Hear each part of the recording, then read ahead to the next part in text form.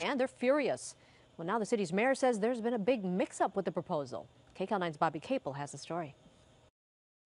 A new proposal by the City of Carson's Planning Commission would prohibit the use of chain link fences that face a street in both residential neighborhoods and applying to some businesses as well.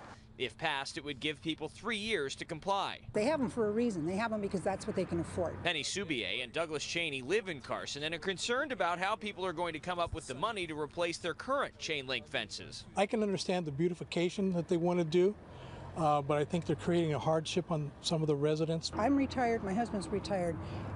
There's only so many dollars coming in. Do I have to make a loan I can't afford because the city doesn't like my fence? Chain link is very ugly. Jim Dear, Carson's mayor, says while he supports the ban on some business fencing, he also says there was a mix up somewhere along the line and that residential fences were never supposed to be a part of the ban. He opposes that. That was not my initiative, not, never part of the initiative from the mayor's office, and so there's a little bit of disconnect there. Another reason residents were so alarmed by the commission's proposal graffiti. Chain link fences don't typically get tagged. The same cannot be said for other types of fencing. We border right up against big time gang, and they just love to come and write. They write on the sidewalk, they write on your fence, they write on the side of your house.